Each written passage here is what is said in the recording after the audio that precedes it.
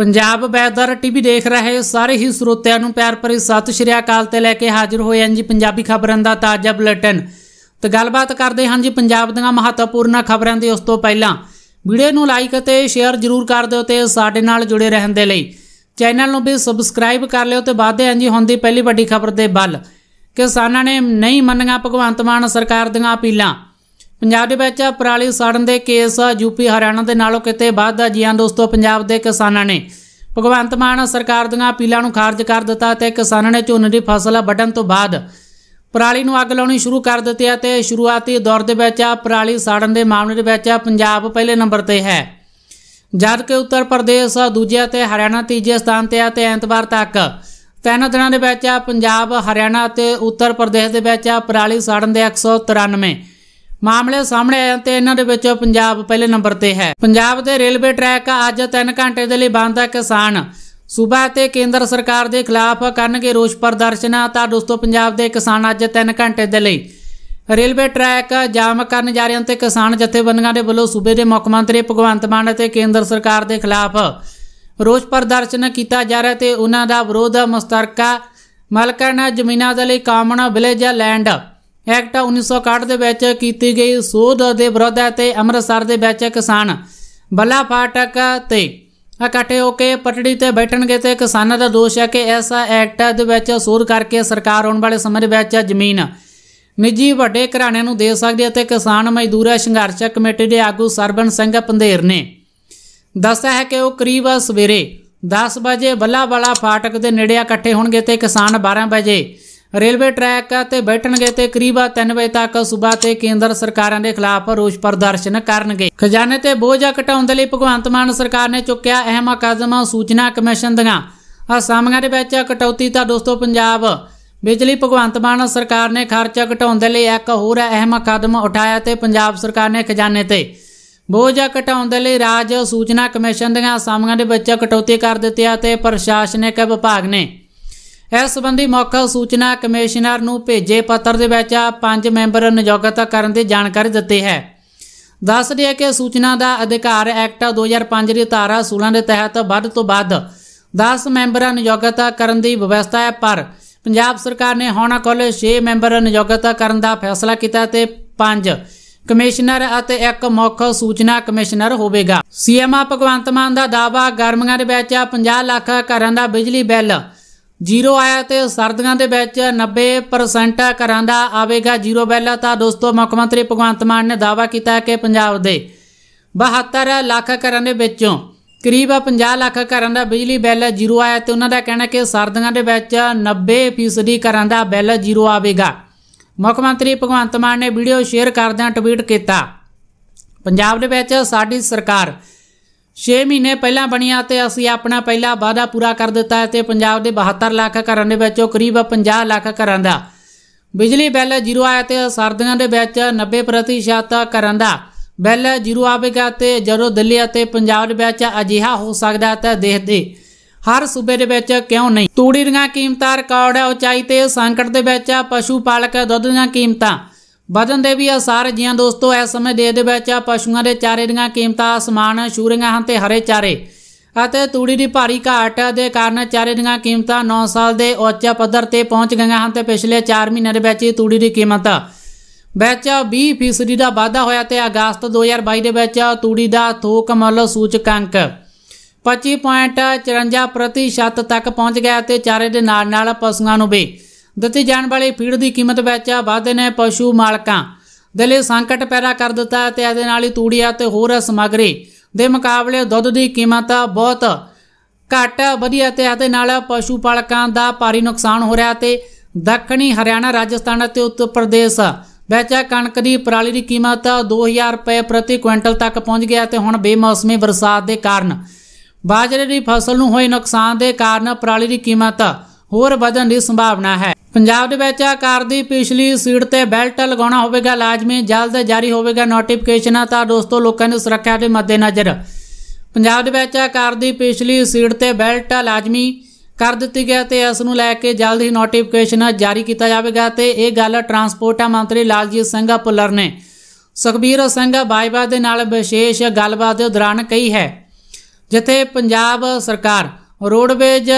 ਨੂੰ ਘਾਟੇ ਤੋਂ ਉਭਾਰਨ ਦੇ ਵਿੱਚ ਮਦਦ ਕਰਨ ਦੇ ਲਈ ਆਪਣੀਆਂ ਬੱਸਾਂ ਦੇ ਫਲੀਟ ਵਿੱਚ ਵਾਧਾ ਕਰੇਗੀ ਤੇ ਉੱਥੇ ਆਪ ਸਰਕਾਰ, ਪਿਛਲੀ ਕਾਂਗਰਸ ਸਰਕਾਰ ਦੇ ਦੌਰਾਨ ਖਰੀਦੀਆਂ ਗਈਆਂ ਬੱਸਾਂ ਦੀ ਜਾਂਚ ਕਰੇਗੀ ਕਿ ਸਰਕਾਰ ਨੇ ਆਪਣੇ ਕਹਿਣ ਦੇ ਨਾਲੋਂ ਵੱਧ ਬੱਸਾਂ ਖਰੀਦੀਆਂ ਹਨ, ਕਿਉਂਕਿ ਅਜਿਹੀਆਂ ਸ਼ਿਕਾਇਤਾਂ ਮਿਲ ਰਹੀਆਂ ਹਨ ਕਿ ਅਮਰਿੰਦਰ ਸਿੰਘ, ਰਾਜਾ ਬੜਿੰਗਾ ਤੇ ਦੇ ਟਰਾਂਸਪੋਰਟ ਮੰਤਰੀ ਹੁੰਦਿਆਂ ਪੈਸਾ ਜ਼ਿਆਦਾ ਖਰਚਾ ਗਿਆ, ਪਰ ਨਾ ਤਾਂ ਬੱਸਾਂ ਜ਼ਿਆਦਾ ਵਧੀਆਂ ਤੇ ਨਾ ਹੀ ਸਹੂਲਤਾਂ ਵਿੱਚ ਸੁਧਾਰ ਹੋਇਆ ਤੇ ਇਸ ਦੇ ਲਈ ਅਸੀਂ ਇਸ ਦੀ ਜਾਂਚ ਵੀ ਕਰਵਾ ਰਹੇ ਹਾਂ। ਅਟਲ ਪੈਨਸ਼ਨ ਯੋਜਨਾ ਦੇ ਵਿੱਚ ਕੀਤਾ ਗਿਆ ਵੱਡਾ ਅਪਡੇਟ। ਆ ਪੈਸਾ ਲਗਾਉਣ ਤੋਂ ਪਹਿਲਾਂ ਜਾਣੋ, ਸਾਰੀਆਂ ਜ਼ਰੂਰੀ ਗੱਲਾਂ ਤਾਂ ਦੋਸਤੋ ਅਟਲ ਪੈਨਸ਼ਨ ਯੋਜਨਾ ਦੇ। ਛੋਟੇ ਨਿਵੇਸ਼ਕਾਂ ਦੇ ਵਿੱਚ ਬਹੁਤ ਮਸ਼ਹੂਰ ਹੈ ਤੇ ਮੋਦੀ ਸਰਕਾਰ ਦੇ ਦੁਆਰਾ ਸ਼ੁਰੂ ਕੀਤੀ ਗਈ ਇਹ ਯੋਜਨਾ ਲੱਖਾਂ ਲੋਕਾਂ ਦੇ ਲਈ। ਸੁਰੱਖਿਅਤ ਨਿਵੇਸ਼ ਦਾ ਸਾਧਨ ਹੈ, ਪਰ ਕੀ ਤੁਸੀਂ ਜਾਣਦੇ ਹੋ ਕਿ ਸਰਕਾਰ ਨੇ ਇਸ ਯੋਜਨਾ ਦੇ ਨਾਲ ਜੁੜਿਆ ਇੱਕ ਮਹੱਤਵਪੂਰਨ ਨਿਯਮ ਨੂੰ ਬਦਲਿਆ? ਦਰਅਸਲ, ਇਸ ਮਹੀਨੇ ਤੋਂ ਟੈਕਸ ਜਮ੍ਹਾਂ ਕਰਨ ਵਾਲੇ ਲੋਕ ਅਟਲ ਪੈਨਸ਼ਨ ਯੋਜਨਾ ਦੇ ਵਿੱਚ ਨਿਵੇਸ਼ ਨਹੀਂ ਕਰ ਸਕਣਗੇ।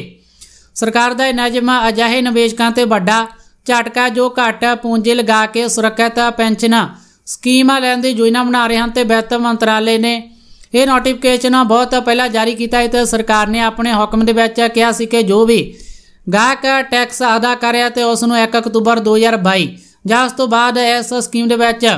ਸ਼ਾਮਲ ਕੀਤਾ ਜਾਵੇਗਾ। ਜੇਕਰ ਉਹ ਅਪਲਾਈ ਕਰਨ ਦੀ ਮਿਤੀ ਨੂੰ ਜਾਂ ਇਸ ਤੋਂ ਪਹਿਲਾਂ ਕੋਈ ਟੈਕਸ ਅਦਾ ਕਰਦਾ ਹੈ ਤਾਂ ਉਹ ਇਸ ਸਕੀਮ ਦੇ ਲਈ ਆਯੋਗ ਹੋ ਜਾਵੇਗਾ ਤੇ ਉਹਦਾ ਅਟਲ ਪੈਨਸ਼ਨ ਯੋਜਨਾ ਖਾਤਾ ਬੰਦ ਕਰ ਦਿੱਤਾ ਜਾਵੇਗਾ। ਯੂਏਈ ਦੇ ਵਿੱਚ ਅੱਜ ਤੋਂ ਬਦਲਣ ਜਾ ਰਹੇ ਹਨ ਇਮੀਗ੍ਰੇਸ਼ਨ ਨਿਯਮਾਂ ਭਾਰਤੀਆਂ ਨੂੰ ਮਿਲਣਗੇ ਵੱਡੇ ਫਾਇਦੇ ਤਾਂ ਦੋਸਤੋ ਸੰਯੁਕਤ ਅਰਬ ਅਮੀਰਾਤ। ਜਾਣੀ ਕਿ ਯੂਏਈ ਨੇ ਪਿਛਲੇ ਮਹੀਨੇ ਆਪਣੇ ਐਡਵਾਂਸ ਵੀਜ਼ਾ ਸਿਸਟਮ ਦਾ ਐਲਾਨ ਕੀਤਾ ਤੇ ਇਹ ਵੀਜ਼ਾ ਨਿਯਮ ਸੋਮਵਾਰ ਜਾਣੀ ਕਿ ਅੱਜ ਤੋਂ ਲਾਗੂ ਹੋ ਜਾਣਗੇ ਤੇ ਨਵੇਂ ਵੀਜ਼ਾ ਨਿਯਮਾਂ ਦੇ ਵਿੱਚ 10 ਸਾਲ ਦੇ। ਐਕਸਪੈਂਡਡ 골ਡਨ ਵੀਜ਼ਾ ਸਕੀਮ ਵੀ ਸ਼ਾਮਲ ਹੈ ਤੇ ਇਸ ਤੋਂ ਇਲਾਵਾ ਹੁਨਰਮੰਦ ਕਾਮਿਆਂ ਦੇ ਲਈ 5 ਸਾਲ ਦੀ ਗ੍ਰੀਨ ਰੈਜ਼ੀਡੈਂਸੀ ਅਤੇ ਇੱਕ ਮਲਟੀਪਲ ਐਂਟਰੀ ਟੂਰਿਸਟ ਵੀਜ਼ਾ ਵੀ ਸ਼ਾਮਲ ਹੈ ਤੇ ਇਸ ਦੇ ਵਿੱਚ ਸਲਾਨੀ ਯੂਏਈ ਵਿੱਚ 90 ਦਿਨਾਂ ਤੱਕ ਰੁਕ ਸਕਣਗੇ ਤੇ ਆਓ ਵੇਖਦਾ ਹਾਂ ਕਿ ਯੂਏਈ ਦੇ ਨਵੇਂ ਇਮੀਗ੍ਰੇਸ਼ਨ ਨਿਯਮਾਂ ਦੇ ਵਿੱਚ ਕੀ ਮਹੱਤਵਪੂਰਨ ਬਦਲਾਅ ਕੀਤੇ ਗਏ ਤੇ 5 ਸਾਲ ਦੇ ਗ੍ਰੀਨ ਵੀਜ਼ੇ ਦੀ ਮਦਦ ਦੇ ਨਾਲ ਵਿਦੇਸ਼ੀ ਬਿਨਾਂ ਸਥਾਨਕ ਨਾਗਰਿਕਾਂ ਜਾਂ ਕਰਮਚਾਰੀਆਂ ਦੀ ਮਦਦ ਦੇ ਨਾਲ ਖੁਦ ਨੂੰ ਸਪਾਂਸਰ ਕਰ ਸਕਣਗੇ ਤੇ ਫ੍ਰੀਲਾਂਸਰ। ਹੁਨਰਮੰਦ ਕਾਮੇ ਅਤੇ ਨਿਵੇਸ਼ਕ ਇਸ ਵੀਜ਼ੇ ਦੇ ਲਈ ਯੋਗ ਹੋਣਗੇ ਤੇ ਇਨਾ ਹੀ ਨਹੀਂ ਇਸ ਤੋਂ ਇਲਾਵਾ ਗ੍ਰੀਨ ਵੀਜ਼ਾ ਧਾਰਕ ਆਪਣੇ ਪਰਿਵਾਰਕ ਮੈਂਬਰਾਂ ਨੂੰ ਵੀ ਸਪਾਂਸਰ ਕਰ ਸਕਣਗੇ ਤੇ ਜੇਕਰ ਕਿਸੇ ਗ੍ਰੀਨ ਵੀਜ਼ਾ ਧਾਰਕ ਦੇ ਪਰਮਿਟ ਦੀ ਮਿਆਦ ਖਤਮ ਹੋ ਜਾਂਦੀ ਹੈ ਤਾਂ ਉਹਨਾਂ ਨੂੰ 6 ਮਹੀਨਿਆਂ ਦਾ ਸਮਾਂ ਦਿੱਤਾ ਜਾਵੇਗਾ ਤੇ 골ਡਨ ਵੀਜ਼ਾ ਨਿਵੇਸ਼ਕਾਂ, ਉਦਮੀਆਂ, ਵਿਅਕਤੀਆਂ ਅਤੇ ਵਿਲੱਖਣ ਪ੍ਰਤਿਭਾ ਵਾਲੇ ਲੋਕਾਂ ਦੇ ਲਈ ਹੋਵੇਗਾ ਤੇ ਇਹਦੇ ਤਹਿਤ ਉਹਨਾਂ ਨੂੰ 10 ਸਾਲ ਤੱਕ ਦੇ ਐਕਸਟੈਂਡਡ ਰੈਜ਼ੀਡੈਂਸੀ ਮਿਲੇਗੀ ਤੇ ਗੋਲਡਨ ਵੀਜ਼ਾ ਧਾਰਕ ਪਰਿਵਾਰਕ ਮੈਂਬਰਾਂ ਤੇ ਬੱਚਿਆਂ ਨੂੰ ਸਪਾਂਸਰ ਕਰਨ ਦੇ ਯੋਗ ਹੋਣਗੇ। ਗੋਲਡਨ ਵੀਜ਼ਾ ਧਾਰਕ ਦੇ ਪਰਿਵਾਰਕ ਮੈਂਬਰ ਕਾਰਡ ਧਾਰਕ ਦੀ ਮੌਤ ਤੋਂ ਬਾਅਦ ਵੀ ਉੱਥੇ ਰਹਿ ਸਕਦੇ ਹਨ। ਜਦੋਂ ਤੱਕ ਵੀਜ਼ਾ ਵੈਧ ਰਹਿੰਦਾ ਤੇ ਗੋਲਡਨ ਵੀਜ਼ਾ ਧਾਰਕਾਂ ਦੇ ਕੋਲ ਇੱਥੇ ਆਪਣੇ ਕਾਰੋਬਾਰ ਦੀ 100% ਮਾਲਕੀ ਹੋਵੇਗੀ ਤੇ ਟੂਰਿਸਟ ਵੀਜ਼ੇ ਤੇ ਆਉਣ ਵਾਲੇ ਯਾਤਰੀ 60 ਦਿਨਾਂ ਤੱਕ ਯੂਏਈ ਵਿੱਚ ਰਹਿ ਸਕਣਗੇ। 5 ਸਾਲ ਦਾ multi entry tourist visa UAE ਦੇ ਵਿੱਚ ਆਉਣ ਵਾਲੇ ਸੈਲਾਨੀਆਂ ਦੇ ਲਈ ਲਗਾਤਾਰ 90 ਦਿਨ ਤੱਕ ਰਹਿਣ ਦੀ ਇਜਾਜ਼ਤ ਦੇਵੇਗਾ। ਸੀਐਮ ਭਗਵੰਤ ਮਾਨ ਦੇ ਭਰੋਸਗੀ ਮਤੇ ਤੇ ਅੱਜ ਬਹਿਸ ਤੇ VOTING ਪੰਜਾਬ ਦੇ ਇਤਿਹਾਸ ਦੇ ਵਿੱਚ ਦੂਜੀ ਵਾਰ ਹੋਵੇਗਾ। ਅਜਿਹਾ ਜੀਆਂ ਦੋਸਤੋ, ਪੰਜਾਬ ਵਿਧਾਨ ਸਭਾ ਦੇ ਇਜਲਾਸ ਦਾ ਅੱਜ ਆਖਰੀ ਦਿਨ ਅਤੇ ਮੁੱਖ ਮੰਤਰੀ ਭਗਵੰਤ ਮਾਨ ਅੱਜ ਅਸੈਂਬਲੀ ਦੇ ਵਿੱਚ ਭਰੋਸਗੀ ਮਤਾ ਪੇਸ਼ ਕਰਨਗੇ ਤੇ ਇਤਿਹਾਸ ਦੇ ਵਿੱਚ ਦੂਜੀ ਵਾਰ ਹੋਵੇਗਾ ਜਦੋਂ ਵਿਧਾਨ ਸਭਾ ਦੇ ਵਿੱਚ ਭਰੋਸਗੀ ਮਤੇ ਤੇ ਬਹਿਸ ਅਤੇ VOTING ਹੋਵੇਗੀ। ਇਸ ਤੋਂ ਪਹਿਲਾਂ 1981 ਦੇ ਵਿੱਚ ਸਾਬਕਾ ਮੁੱਖ ਮੰਤਰੀ ਦਰਬਾਰਾ ਸਿੰਘ ਦੇ ਕਾਰਜਕਾਲ ਦੇ ਦੌਰਾਨ 8ਵੀਂ ਵਿਧਾਨ ਸਭਾ ਦੇ ਵਿੱਚ ਭਰੋਸਗੀ ਮਤਾ ਲਿਆਂਦਾ ਗਿਆ ਸੀ ਤੇ ਉਂਝ ਵਿਸ਼ੇਸ਼ ਸੈਸ਼ਨ ਦਾ ਵਿਰੋਧੀ ਧਿਰ ਦੇ ਵੱਲੋਂ ਵਿਰੋਧ ਕੀਤੇ ਜਾਣ ਦੇ ਕਾਰਨ ਸੈਸ਼ਨ ਦਾ ਜ਼ਿਆਦਾਤਰ ਸਮਾਂ ਹੰਗਾਮੇ ਦੇ ਵਿੱਚ ਹੀ ਲੰਘਿਆ। ਭਾਰਤੀ ਜਨਤਾ ਪਾਰਟੀ ਭਾਜਪਾ ਦੇ ਦੋਵੇਂ ਵਿਧਾਇਕ ਇੱਕ ਦਿਨ ਤੇ ਸੈਸ਼ਨ ਦਾ ਬਾਈਕਾਟ ਕਰ ਰਹੇ ਹਨ। ਲੁਧਿਆਣਾ ਦੇ ਵਿੱਚ ਪੰਜਾਬੀ ਗਾਇਕ ਜੀ ਖਾਨ ਦੀ ਹੋਈ ਕੁੱਟਮਾਰ, ਚੱਲੇ ਪੱਥਰ ਅਤੇ ਸੁੱਟੀਆਂ ਤਾਂ ਦੋਸਤੋ ਲੁਧਿਆਣਾ ਦੇ ਵਿੱਚ ਅਸ਼ਲੀਲਾ ਗੀਤ ਗਾਉਣ ਨੂੰ ਲੈ ਕੇ ਪੰਜਾਬੀ ਗਾਇਕ ਜੀ ਖਾਨ ਦੇ ਨਾਲ। ਕੁੱਟਮਾਰ ਦਾ ਮਾਮਲਾ ਸਾਹਮਣੇ ਆਇਆ ਤੇ ਜੀ ਖਾਨ ਨੂੰ ਮੁਆਫੀ ਦੇਣ ਦੇ ਲਈ ਜਥੇਬੰਦੀਆਂ ਅਮਨੋ ਸਾਹਮਣੇ ਹੋ ਗਈਆਂ ਹਨ ਤੇ ਸਿਵ ਸੈਨਾ ਪੰਜਾਬ ਨੇ ਗਾਇਕ ਨੂੰ ਮਾਫੀ ਦੇਣ ਦੇ ਲਈ ਐਤਵਾਰ ਨੂੰ ਸਾਂਗਲਾ ਦੇ ਸ਼ਿਵਾਲਾ ਮੰਦਿਰ ਦੇ ਵਿੱਚ ਬੁਲਾਇਆ ਸੀ, ਜਿਸ ਤੋਂ ਬਾਅਦ ਉਹਨਾਂ ਨੇ ਮੰਦਿਰ ਦੇ ਮੈਨੇਜਰ ਮਹੰਤ ਨਾਰਾਇਣਪੁਰੀ ਤੋਂ ਮੁਆਫੀ ਵੀ ਮੰਗੀ ਇਸ ਪਰ ਬਾਅਦ ਵਿੱਚ ਜਿਵੇਂ ਹੀ ਜੀ ਖਾਨ ਉੱਥੋਂ ਲੰਘਣ, ਜਾਣ ਲੱਗਾ ਤਾਂ ਇੱਕ ਹੋਰ ਧੜੇ ਨੇ ਉਸ ਦੇ ਨਾਲ ਹੱਥੋਪਾਈ ਸ਼ੁਰੂ ਕਰ ਦਿੱਤੀ ਹੈ, ਜਿਸ ਤੋਂ ਬਾਅਦ ਸੈਬ ਸੈਨਾ ਪੰਜਾਬ ਦੇ ਕੁਝ ਆਗੂ ਅਤੇ ਹੋਰ ਹਿੰਦੂ ਸੰਗਠਨਾਂ ਦੇ ਲੋਕ ਆਪਸ ਵਿੱਚ ਉਲਝ ਗਏ ਤੇ ਜਿਸ ਤੋਂ ਬਾਅਦ ਉਹਨਾਂ ਨੇ ਇੱਕ ਦੂਜੇ ਤੇ ਪੱਥਰਾਂ ਤੇ ਡੰਡਿਆਂ ਦੇ ਨਾਲ ਹਮਲਾ ਸ਼ੁਰੂ ਕਰ ਦਿੱਤਾ ਤੇ ਮੌਕੇ ਤੇ ਪੁਲਿਸ ਬਲ ਤੈਨਾਤ ਸੀ। ਦੁਸਹਿਰੇ ਮੌਕੇ ਮੌਸਮ ਪਾਵੇਗਾ ਵਿਗੜਨਾ, ਕਈ ਸੂਬਿਆਂ ਵਿੱਚ ਅਗਲੇ 72 ਘੰਟਿਆਂ ਵਿੱਚ ਭਾਰੀ ਮੀਂਹ ਦਾ ਅਲਰਟ, ਤਾਂ ਦੋਸਤੋ ਪੱਛਮੀ ਬੰਗਾਲ ਦੇ ਵਿੱਚ ਭਾਰੀ ਮੀਂਹ ਦੇ ਕਾਰਨ ਦੁਸਹਿਰੇ ਦੇ ਤਿਉਹਾਰ ਦੇ ਵਿੱਚ ਵਿਘਨ ਪੈਣ ਦੀ ਸੰਭਾਵਨਾ ਤੇ ਮੌਸਮ ਵਿਭਾਗ ਨੇ ਅਗਲੇ 72 ਘੰਟੇ ਦੇ ਵਿੱਚ ਪੂਰੇ ਦੱਖਣੀ ਬੰਗਾਲ ਦੇ ਵਿੱਚ ਦਰਮਿਆਨੀ ਤੋਂ ਭਾਰੀ ਬਾਰਿਸ਼ ਦੀ ਭਵਿੱਖਬਾਣੀ ਜਾਰੀ ਕੀਤੀ ਹੈ ਤੇ ਆਈਐਮਡੀ ਨੇ ਉੱਤਰ ਪ੍ਰਦੇਸ਼ ਅਤੇ ਉੱਤਰਾਖੰਡ ਵਿੱਚ ਵੀ ਭਾਰੀ ਮੀਂਹ ਦੀ ਭਵਿੱਖਬਾਣੀ ਜਾਰੀ ਕੀਤੀ ਹੈ। ਪੰਜਾਬ ਵਿਧਾਨ ਸਭਾ ਦੇ ਆਖਰੀ ਦਿਨ ਦੀ ਕਾਰਵਾਈ ਸ਼ੁਰੂ ਕਈ ਬਿੱਲ ਹੋਣਗੇ ਪਾਸ, ਤਾਂ ਦੋਸਤੋ ਪੰਜਾਬ ਵਿਧਾਨ ਸਭਾ ਦਾ ਵਿਸ਼ੇਸ਼ ਸੈਸ਼ਨ ਚੱਲ ਰਿਹਾ ਤੇ ਜਿਹਦਾ ਅੱਜ ਚੌਥਾ ਤੇ ਆਖਰੀ ਦਿਨ ਅਤੇ ਵਿਸ਼ੇਸ਼ ਸੈਸ਼ਨ ਦੇ ਵਿੱਚ ਕਈ ਬਿੱਲ ਪਾਸ ਹੋਣਗੇ ਤੇ ਵਿਰੋਧੀਆਂ ਦੇ ਵੱਲੋਂ ਹੰਗਾਮਾ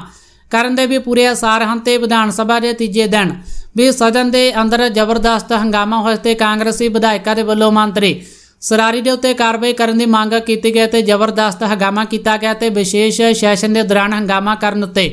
ਸਪੀਕਰ ਨੇ ਕਾਂਗਰਸੀ ਵਿਧਾਇਕਾਂ ਨੂੰ ਝਾੜ ਵੀ ਪਾਈ ਹੈ ਤੇ ਸਪੀਕਰ ਨੇ ਕਿਹਾ ਕਿ ਕਾਂਗਰਸੀ ਵਿਧਾਇਕਾਂ ਨੇ 2 ਦਿਨ ਖਰਾਬ ਕਰ ਦਿੱਤੇ ਹਨ ਤੇ ਕੁਰਸੀ ਦੀ ਤੋਹੀਨ ਕੀਤੀ ਹੈ। ਦੀਵਾਲੀ ਤੋਂ ਪਹਿਲਾਂ ਕਿਸਾਨਾਂ ਨੂੰ ਮਿਲੇਗੀ। 12ਵੀਂ ਕਿਸ਼ਤ ਸਥਿਤੀ ਜਾਣਨ ਦੇ ਲਈ ਅਪਣਾਓ। ਇਹ ਕਦਮ ਤਾਂ ਦੋਸਤੋ ਪ੍ਰਧਾਨ ਮੰਤਰੀ ਕਿਸਾਨ ਸਨਮਾਨ ਨਿਧੀ ਯੋਜਨਾ ਦੇ।